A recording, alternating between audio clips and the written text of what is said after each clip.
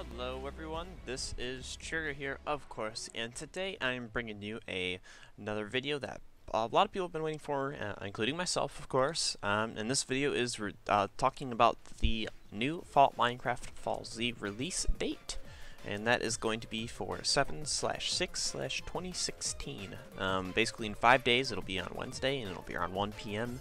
EST, and I believe that's my time. So, um, so yeah, uh, I'm just going to try to be covering as many of the features as I possibly can that I've added since the last video. I'm just going to say that there has been a insane amount added in since the last video I have posted.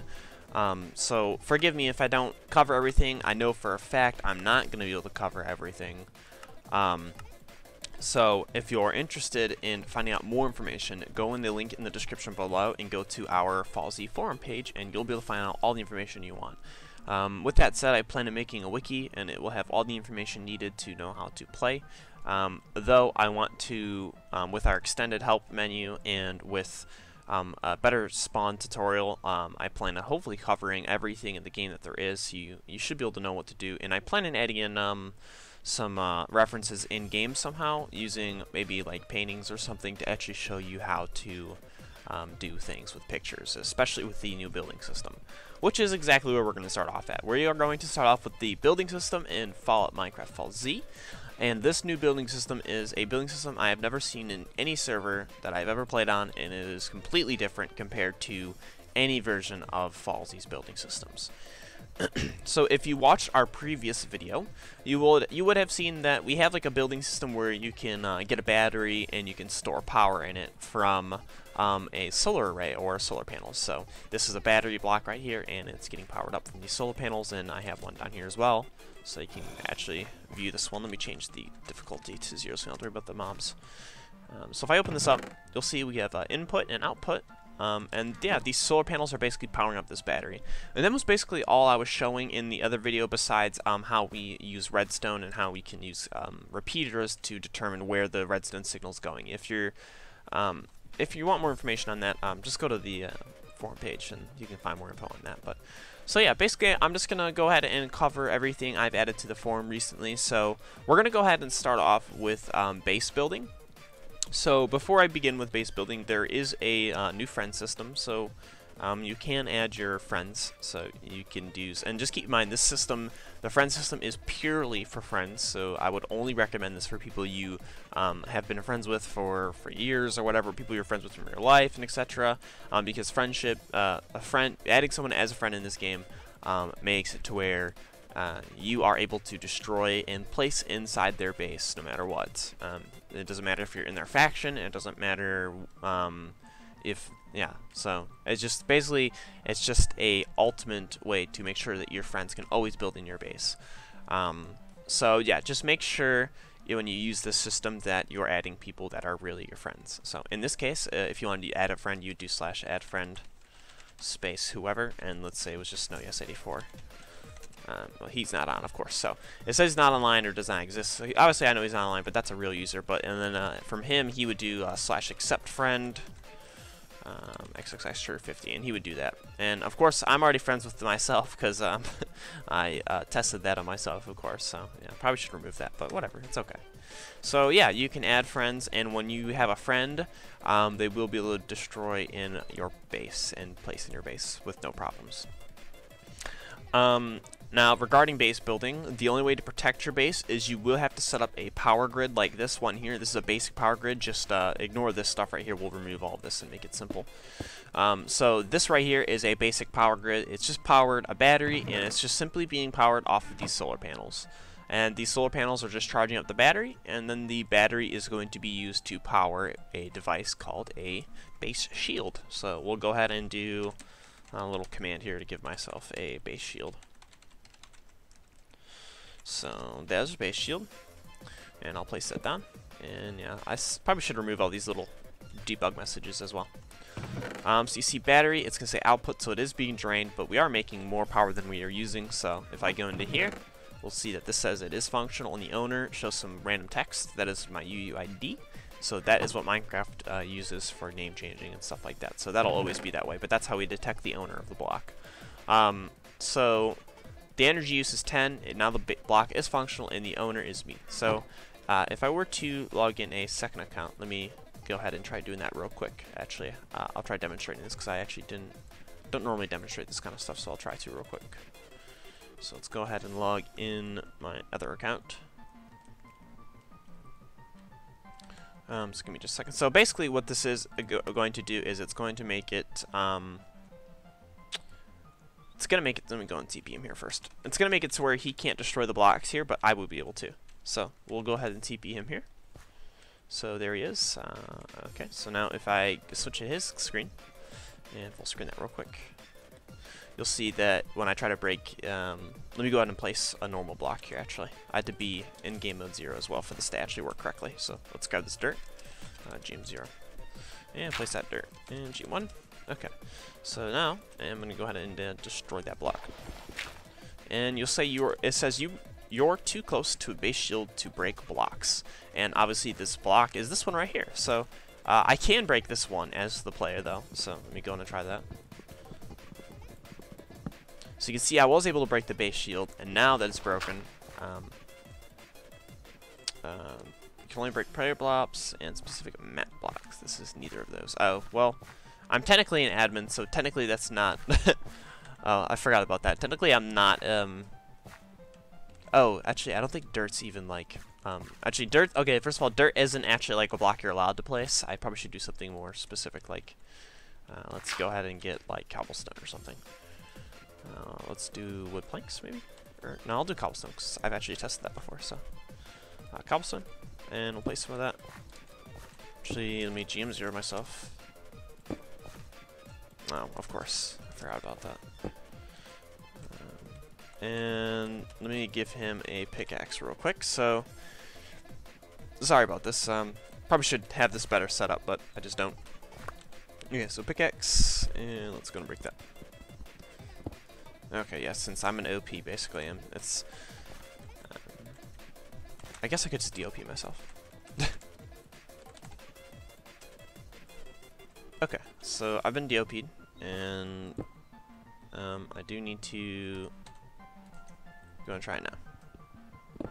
There you go. It's not worked. Because I'm an OP, it wasn't working. Um, but yeah, so you can see I was able to destroy the block now because I was not a OP and I placed the block. So that just prevents um, all the blocks in the map from being removed if we ever need to remove the player blocks for whatever reason. Um, but yeah, so now, um, basically that base shield, if that base shield were to be up, if I go ahead and grab that again, um, I'm going to go ahead and place that. Okay, so I'm going to place base shield.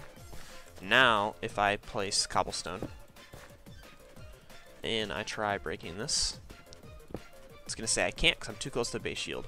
Um, so yeah, basically, um, I'm going to go and log him off now. So basically, the thing you should know is um, you need a base shield to protect your blocks, the very basics of it. Um, and you see a lot of soul sand here. That's because our players actually leave tracks. Um, and you can, if you have the perk tracker, if you have the perk uh, perk for uh, tracker, then you'll be able to actually know which direction they were looking, how far they were, how long ago it was placed, and stuff like that. Um, so a bunch of other cool stuff. Um, oh, I'm not OP yet. Let me go and OP myself real quick. Okay. So yeah, so that's basically the building. So base shields don't protect themselves, they don't pr protect other base shields. Um, this makes it possible for people to do raids. So if um, later on I plan on adding the ability to actually shoot it to break it, um, that's not in just yet. But for now, you'll be able to raid people's bases using explosives. So um, let's go ahead and just grab some TNT so I can explain this basic system. So you can raid a base uh, with a base shield. It enables the protection for all blocks. Um, if you don't have the base shield, blo uh, blocks are able to be broken just by default. So you need to go ahead and get that taken care of as soon as possible. So now once you have the base shield placed, uh, let's say you had, um, let's just go ahead and grab some planks and some cobblestone. So when you build your base, let's just say you're building up a little wall. And here's your wall. If someone has a, let me go and name this real quick. One explosive. Okay, so now pretend this block here is the tier 1 explosive. If you were to place a tier 1 explosive block right here, let me clear that weather.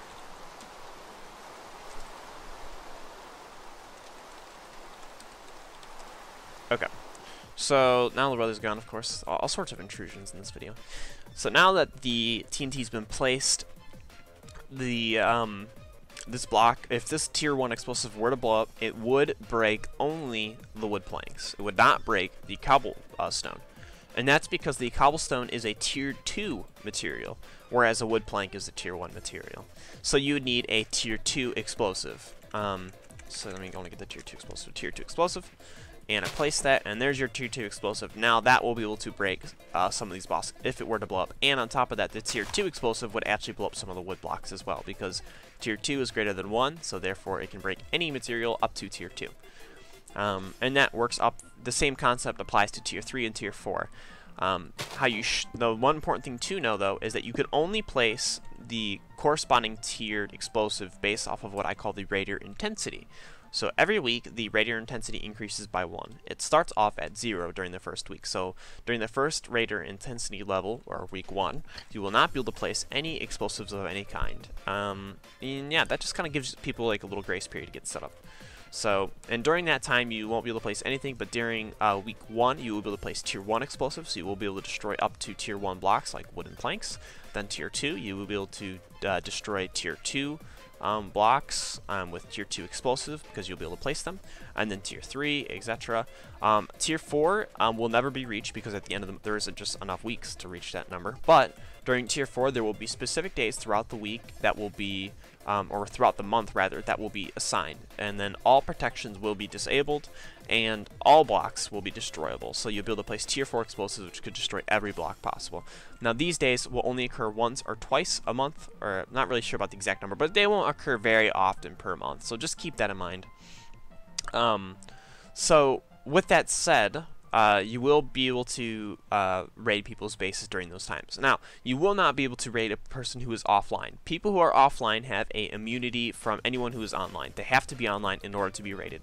However, when a player is online, the basic raiding concepts that I just described do apply. But if that player were to, let's say, let's say you were going to say, hey, I'm going to raid you, Bobby, and Bobby says, um, fine, I'm just going to log off. He logs off well, now you can't break his base. That kind of sucks. So I actually made a countermeasure. So if Bobby were to log off like he did, then his base would still be vulnerable for 5 minutes even after he logged off.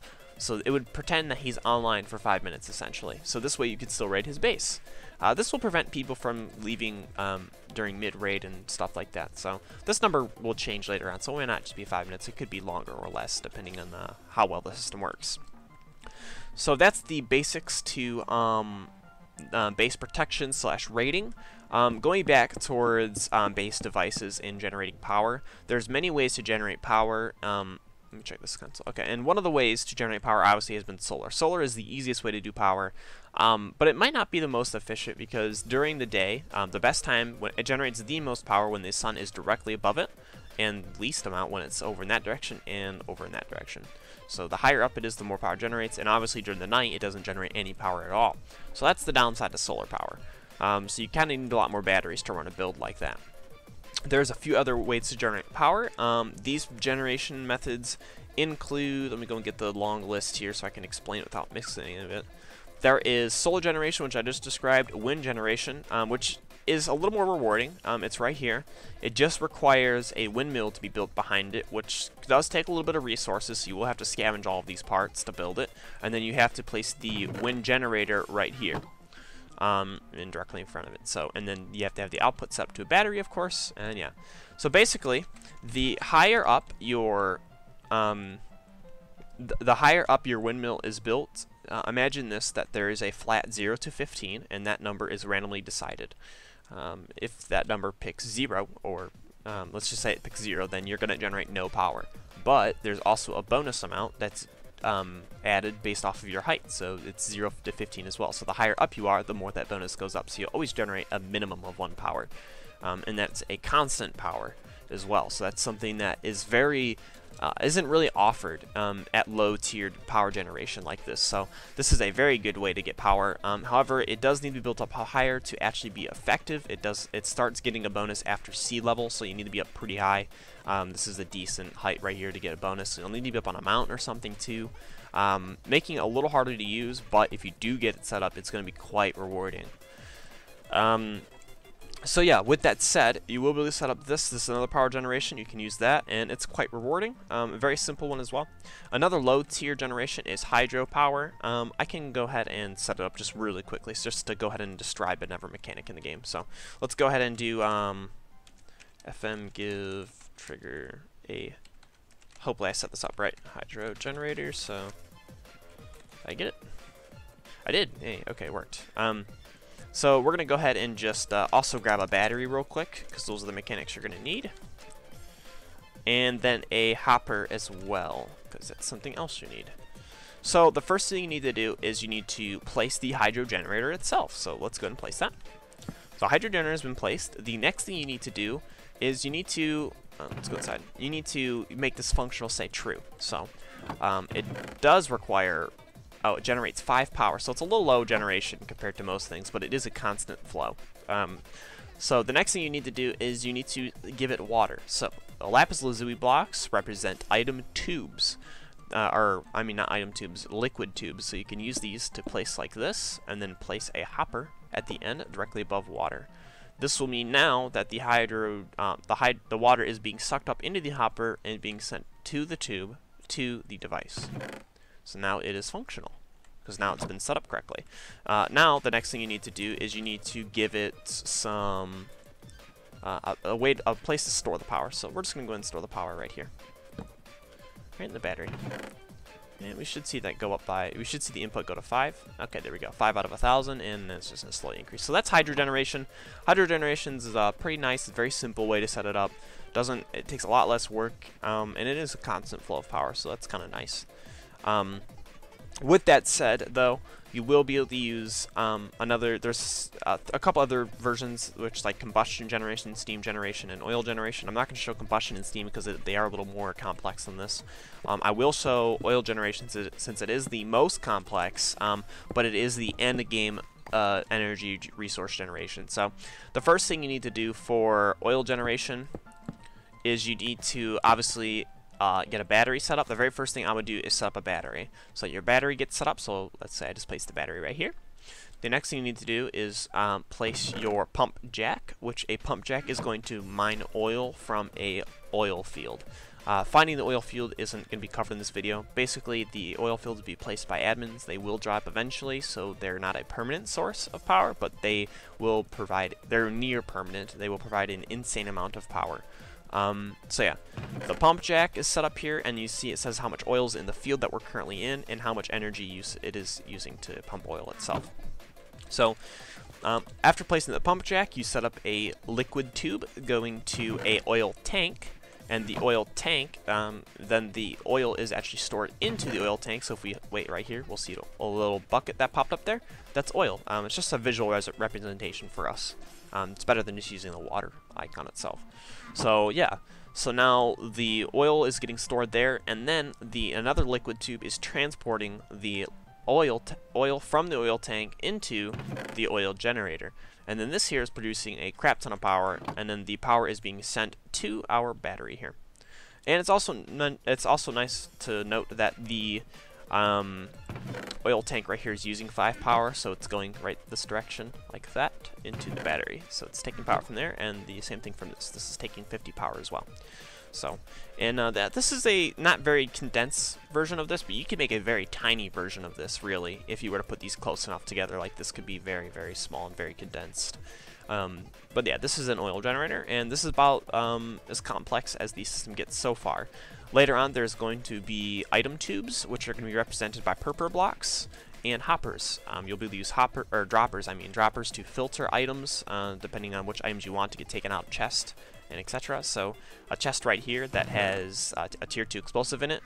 If there's a tier 2 explosive in here, then it'll grab all tier 2 explosives and move them from here to the end down to this chest over here. If it's a device, um, let's say there's like the purifier device, it's a device that you can use to purify radiated water bottles, then you'll be able to move the item into the purifying slot, which then will be automatically purified. So automation is something that is going to come into the server. It is just not in the server just yet, but it is one of the major goals of the server. It's not going to be out on release, but it's going to be shortly after release as one of the main focal points. Um, but yeah, that's just not yet to come. So that is the base building system. Um, there is so much in the base building system, of course, I'm not going to be able to cover. Um, and there's another important thing to note is that you will be able to build in virtually everywhere minus key locations. Uh, key locations include cities like this. Uh, Brim City, Jacinto, Valley City, military bases, stuff like that. But it is worth noting that you will be able to build at locations like this. Let me go ahead and just TP around. So you will be able to build like right here. This is a spot you could build at. You would be fine building here. And of course, I bet that it probably won't be buildable when the server's up, but whatever. So you would be able to build here. This is a spot where you, you will more than likely be able to build because it's not actually in the map itself. It's very close to it, but you'll be fine building there.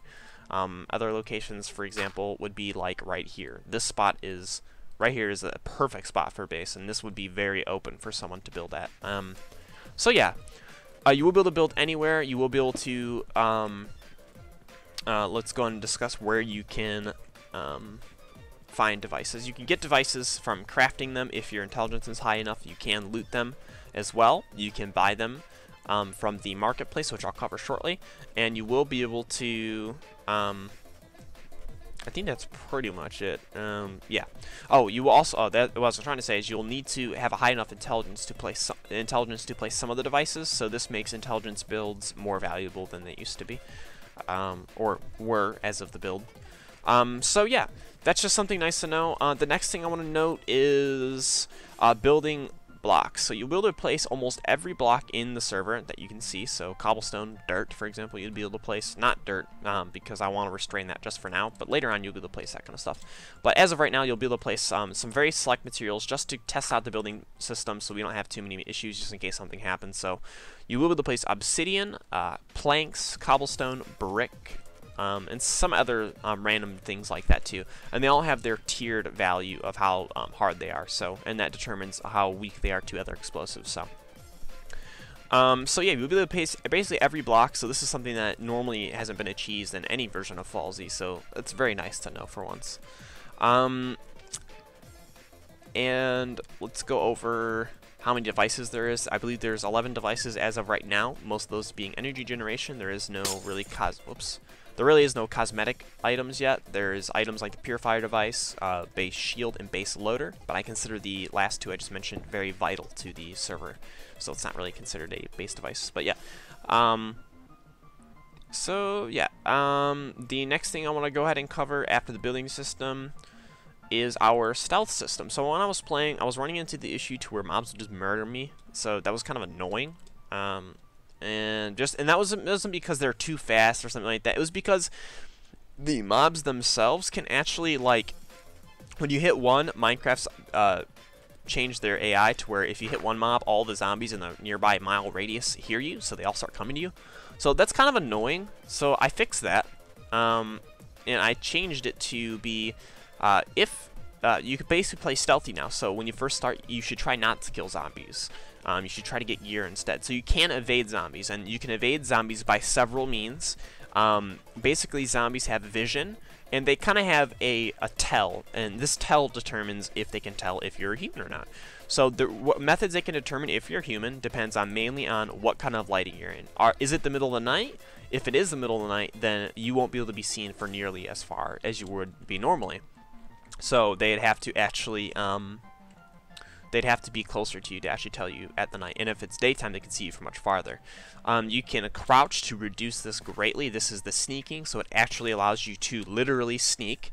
Um, so if you're sneaking around, it makes zombies harder to see you. Uh, and then if you're inside buildings, so the light level. So if we go here, you can see my light says 15 in the left there.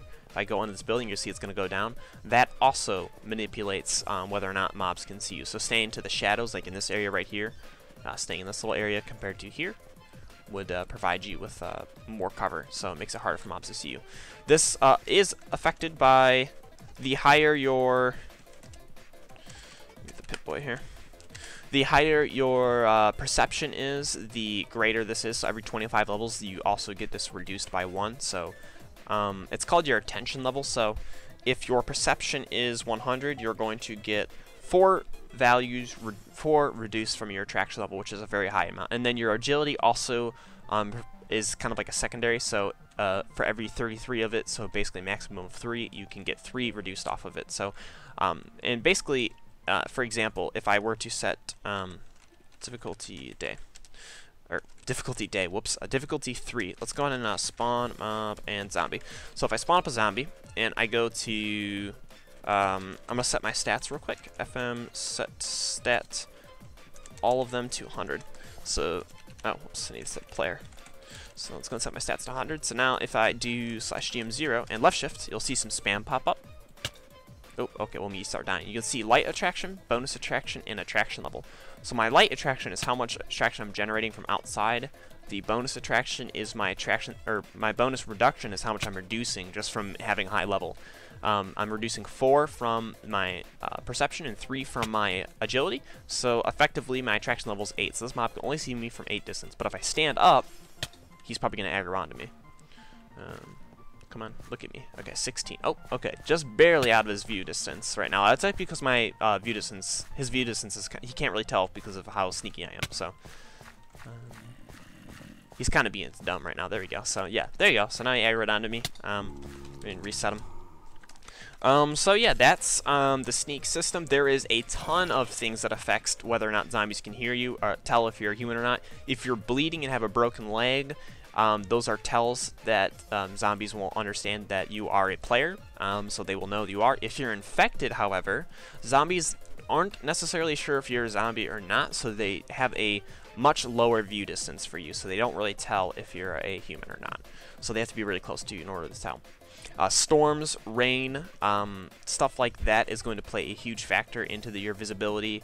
Um, obviously, being at nighttime, it's going to be a lot easier to, to traverse the day um, day or the night. So, um, yeah. And last but not uh, least is the market system slash market. You get four menus here. Um, you will only be able to use these in the East and North market, and only two of these will be available at the start of the server. Um, there will be devices and blocks added in right here, um, and those will be available at uh, uh, one of the markets. I'm not really sure which one yet. So you can see you have browse guns, browse ammo, browse medical, and browse food. So if I go to browse guns, uh, you can see that all the guns are here. They're all set for the same price. So let me give my let me check my money. Okay, so they're all set for the same price, and that's just for testing purposes. I'm not sure the prices just yet. So I'm gonna go ahead and buy a M107, but you can see the price says 1,000. Your the your buying and selling prices are affected directly by your charisma level. So the higher your charisma, the more you can sell items for, and the less you can the less uh, items cost when you buy them. So if I buy this M107, the display isn't properly displayed yet, so the normal value is 1000 but if I buy this, you'll see I bought it for 750 instead of 1000 um, and now if I go back there, so market and go back to our guns, and I right click the gun, I can sell it for 625 whereas I would have sold it for 500. So yeah, that's a charisma stat um, and the economy, you will be able to, if you use slash market, you will have to be in the east or north market to actually use it. I'm an admin, so it's disabled. Um, and in these sections, the guns and ammo section will be av available in the north market. In the east will be uh, have the browse medical and food. Uh, you uh, you won't have to actually be in the marketplace itself. You will get a message saying that you are in the marketplace area. So let's go to the east market real quick and just demonstrate that. So right about here, I'll get a message.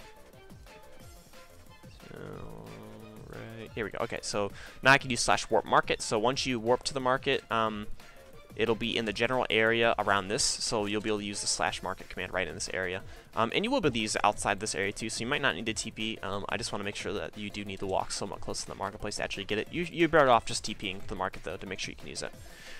Um, and then last but not least, uh, I said that for economy, but there is this another little thing. So stamina HUD on. This here is a new way to show your stamina. Um, I kind of got annoyed, and I also noticed that people have to comment in one of the videos when I displayed the stamina system that uh, having the stamina message spam your your screen over here was kind of annoying. So if I do stamina um, 10, it'll message me every 10 stamina, or 10 fatigue I generate. Oh wait, I need to be game mode 0.